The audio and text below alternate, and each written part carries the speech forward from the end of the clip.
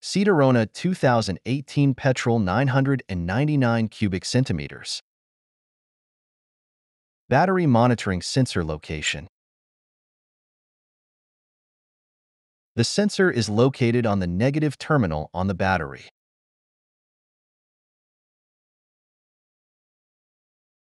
It can be seen as shown above. Thanks for watching. Please like, share, and subscribe.